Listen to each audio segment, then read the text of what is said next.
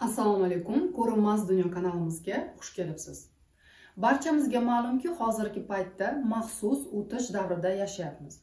Va bunday zamon asrlar davomida ta'lim tizimi ommaviy axborot vositalari ijtimoiy va oilaviy fikrlash tarzlariga asoslangan ota bobolarimizdan meros bo'lib o'tgan e'tiqodlardan shakllangan tafakkurimizni qayta ko'rib chiqishga majbur qilyapti. Chunki biz insonlar har kungi kundalik turmushimizda mana shu bir xil xatti harakatlarni olamga translyatsiya qilyapmiz. Ya'ni odatda bu hayotdan shikoyat qilishimiz atrofimizni yaqinlarimizni va boshqalarni ayblaymiz hamda tom ma'noda bir xil siklni takrorlashda davom etyapmiz. O'z navbatida bunday yashash tarzi va his tuyg'ular olamdagi eng katta maятникка mansub bo'lgan doimiy aybdorlik hissini tug'diradi va binobarin o'zimizni yomon his qilishimizga olib keladi. Natijada e, hayotimizda ilhomning ishtiyoqning yo'qolishini kuzatamiz o'zimizga ishonish va to'liq hayot kechirish istagi ham yo'qoladi. Bunday fikrlash tarzi bilan biz insonlar omon qolish rejimida stressli holatda hayotimizda qandaydir tahdid ehtimol haqiqiy ehtimol esa faqat xayoldagi tahdid mavjud bo'lgan holatda yashaymiz. Va bu odatda ba'zan shikoyat qilishimizga ya'ni jabrlanuvchining rolida yashashga ba'zida esa borliqni butun borliqni ayblab ya'ni sudya rolida yashashga da'vat qiladi. Ba'zi odamlar bu dastur o'ziga xos matritsa odamzodga maxsus kiritilgan deb hisoblashadi. Va go'yo bunday dastur oqibatida hamma odamni mana shu sayyorada abadiy norozilik doimiy mamnunsizlik holatida va faqat moddiy narsalar haqida tana ehtiyojlari haqida o'ylashga majbur qilyapti deydi. Lekin zamon o'zgaryapti. Tanish modellar qulab tushyapti. Demak ular yangisiga almashtirilishi kerak. Tirik qolish omon qolishga asoslangan o'sha hayot modeli hayot tarzi hayotni yaratish modeliga almashtirilishi lozim. Bu degani inson o'z ichidagi ijodkor kuchini uyg'otishi kerak. Masalan amerikada shunday bir irqiy kamsitirishlarga qarshi kurashgan jamoat arbobi o'tgan. Umuman olganda moddiy hayotda va bu amalda bu qora tanlilarni irqiy kamsitilishi bo'lib ko'ringandir tashqi dunyoda. Lekin bu inson aslida aynan birlik olamning birlik g'oyasi uchun kurashgan yurakdir. Va mana shu inson huquqlari faoli hamda yetakchisi bo'lgan martin luter kingning aytishicha hozirgi sivilizatsiyamiz muammolari shundaki biz insonlar yuraklarimizni unutganmiz. Hayotimizni sevgidan butunlay ajratib tashqi dunyodagi kuch ochko'zlik zo'ravonlik va faqat iste'molga sig'inadigan madaniyatni yaratganmiz. Ertangi kun uchun mutlaqo tashvishlanmasdan yashaymiz. Ertangi kun deganda esa ruhiyatimizni nazar, nazarda tutilyapti.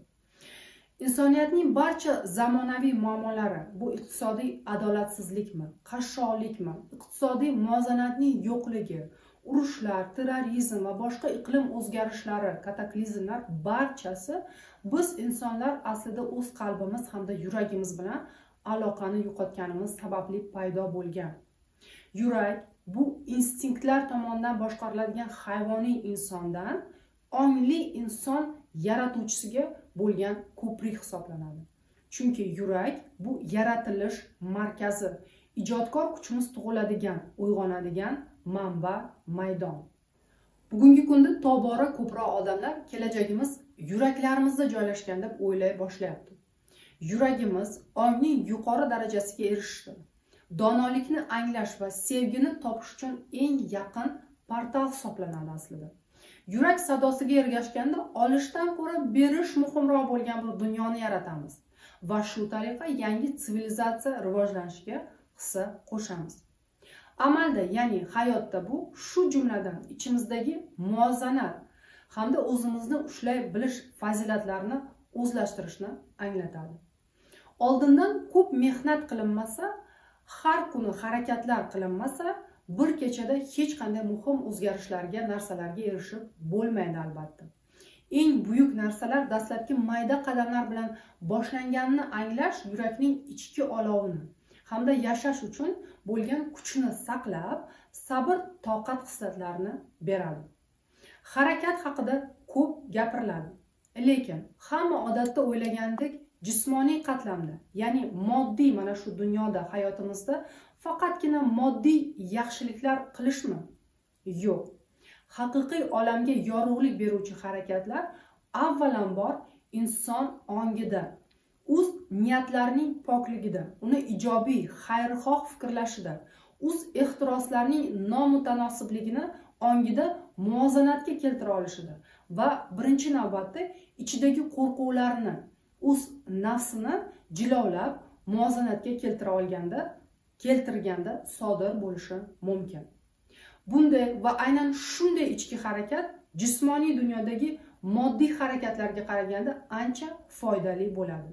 Harakat degan tushunchada mana shu jihatni kashf etib biz insonlar har doim va hamma joyda yaxshilik qilish uchun yaxshilik uchun harakat qilish mumkinligini tushunib yetamiz. Turli meditatsiyalar shu jumladan ommaviy meditatsiyalar ibodatlar affirmatsiyalar va boshqalar butun borliqni olamni yoritishga qaratilgan juda ham zaruriy faol harakatlar hisoblanadi. Yurakdagi sevgini mehrni hammaga o'z bolalarimizga qarindoshlarga do'stlarga atrofdagi jamiyatga dunyoga yuborish harakati albatta insonning eng faol harakatlaridan biri hisoblanadi. Inson ongi dunyoda faqat yaxshilikni yaratishga yo'naltirilganda ichki hamda tashqi dunyolarimizda qatlamlarimizda ijobiy harakatlarning eng uyg'un kombinatsiyasi sodir bo'ladi aslida. Harakat degan tushunchaning yogasi har kungi oddiy turmushimizda aynan shunday tarzda amalga oshiriladi. Yoga degani qisqacha bu amallar harakatlar to'plami degani. Masalan zamonamiz e, buyuk bir murabbiylardan biri shunday deb aytgan. Mening dinim juda ham oddiy. Ma'badlarning qurishning hojati ham yo'q. Murakkab falsafaga ehtiyoj yo'q. Ongimiz va yuragimiz biz insonlar uchun ma'bad falsafa esa yuraklarimizdagi mehrdir. Ya'ni inson yuragi bilan aloqa qilganda u o'zining asl tabiatiga va barcha tirik mavjudotlarning asl tabiatiga yaqinlashadi. Biz hammamiz juda ham qiziq hattoki hayratlanarli darajada o'zgarishlar e, davrida yashayapmiz. Bu o'zgarishlar barchamizga ta'sir qiladi. Ya'ni hozirda beshta sezgi organ idrokidan tashqariga chiqish bilan ajralib turadigan yangi inson ongining uyg'onish davrida yashayapmiz. Bu hayotning asl ma'nosi va hayotning asl maqsadini anglash. Rahm shafqat mehr va donolikni uyg'otish davri. Ko'p odamlar yurak insonga yangi o'lchovli hayotga yo'l ochishini barchamiz bir bir ekanligimizni tushunib yetishadi. Yurak ongiga asoslangan yangi tartib paydo bo'lishi bilan ko'plab yangi ajoyib imkoniyatlarni kashf etamiz. Demak evolyutsiyaning yangi bosqichi ro'y beradi. Aslida turli qatlamlarda evolyutsiyalar mavjud. Jismoniy qatlamdagi evolyutsiya bu bosqichma bosqich kechiriladigan jarayon. Axloqiy evolyutsiya paytida esa bu olamda nima to'g'ri nimalar noto'g'ri va o'zimizni bu tashqi dunyoda qanday tutish haqida o'ylaymiz. Va eng muhim bizni inson qobiliyatlaridan maksimal darajada foydalanishga hamda har birimiz o'rab turuvchi o'sha yaratuvchi ulkan kuchning bir qismi ekanligimizni tabiat cheksizlik va koinotning bir qismi ekanligimizni tushunishga yaqinlashtiradigan ruhiy evolyutsiyadir. Unda qo'rquvdan sevgiga qarab harakatlanamiz. Bu har birimiz va butun insoniyat uchun ulkan evolyutsion qadam. Albatta inson o'z yuragiga tayanib yashaydimi yoki yo'qmi? Omon qolishga asoslangan o'sha ongini yaratuvchi kuchga tayanadigan tafakkurga o'zgartiradimi yo'qmi faqat o'zi qaror qabul qiladi. Bu qarorni faqat odamning o'zi qabul qilishi mumkin boshqa hech kim. Agar biz dunyodagi mavjud muammolarni hal qilmoqchi bo'lsak ongimizda keskin burilish qilishimiz kerak bo'ladi. Bu boshdan intellektdan chiqib yurakka qarab burilish. Buni natijasida nafaqat o'zi haqida o'ylaydigan balki olam bilan hamnafas bo'lib o'sha birlikni his qiladigan yuragi bilan qaror qabul qiladigan va butun shu olamdagi voqea hodisalarni yurakning masshtabroq bo'lgan kengroq nuqtai nazardan ko'rib chiqadigan mehribon bir mavjudot paydo bo'ladi qayta dunyoga keladi. Bu dunyoda yashashning mutlaqo yangi usuli. Qo'rquvda emas balki sevgida shunday yashashni boshlaganimizda sayyorada yaxshilik hududi maydoni paydo bo'ladi. Yurakning ajoyib kuchi biz uchun yangi dunyoni ochadi va unda qo'rquv energiyasi sevgi energiyasiga aylanadi. Turli omadsizliklarni esa biz insonlar ruhan o'sishimiz uchun rivojlanishimiz uchun tajriba sifatida ishlatamiz. Amalda bu degani bizni xafa qilganlarni kechiramiz. Ularga nisbatan gina saqlamaymiz. Ya'ni olam bilan bo'lgan muloqotni har bir inson ifodasida bo'ladigan muloqotni yaxshilaymiz. Bularning barchasi shunchaki yurak dunyoni butun olamni va undagi jarayonlarni aqlga qaraganda ancha kengroq ko'ra olgani uchun bilgani uchun sodir bo'ladi. Har birimiz va boshqa barcha odamlar yurakka quloq solib yashashni boshlaganda oqibatlari domino ta'siriga ega bo'ladi. Ko'proq odamlar bu turmush tarzining afzalliklarini ko'rishadi. Ya'ni ongimiz holati boshqalarning ong holatiga ta'sir qilishni boshlaydi va aslida bunday hayotning namunasini ko'rsatishni boshlaymiz. Evolyutsiyaning asosiy vazifalaridan biri yuraklarimizni xuddi chashmaga manbaga omborga o'xshab eng uyg'un ma'naviy energiya his tuyg'ular va fazilatlar bilan to'ldirish. Keyin esa bu sovg'alarni dunyoga odamlarga olamga insoniyatga ulashish. Ruhiy yo'l insonning o'z yuragining ichki ovozini tinglash unga ishonish va undagi yaratuvchining ohangini farqlay olish qobiliyatidan boshlanadi. Va yuragimiz bilan aloqa o'rnatish uchun quyidagi mashq tavsiya qilinadi.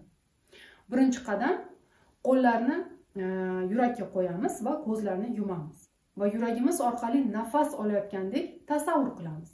Nafas chiqarish nafas olishdan ko'ra kuchliroq bo'lishi lozim va shunday tariqa olti marta nafas olib nafas chiqarish kerak bo'ladi. Ikkinchi qadam yurak bilan nafas olishni davom etish lozim. Har bir nafas olish davomida sevgi mehr minnatdorchilik tuyg'ularini uyg'otib ularni nafas olayotgandek his qilishga urinish kerak bo'ladi. Bu mashqni iloji bo'lsa kuniga bir necha marta bajarish tavsiya qilinadi. Umuman olganda yuqori sifatdagi energiya yuragimizga kirganda ijodkor kuchning uyg'onishi boshlanadi. Va mana shu uyg'onishni boshdan kechiramiz. Ya'ni ongning boshqa darajalarda ko'ra olmaydigan imkoniyatlarni ko'rishni boshlaymiz. Bugun esa bizlar bilan bo'lganingiz va e'tiboringiz uchun rahmat. Tez orada ko'rinmas dunyo sayohatlarida ko'rishguncha xayr.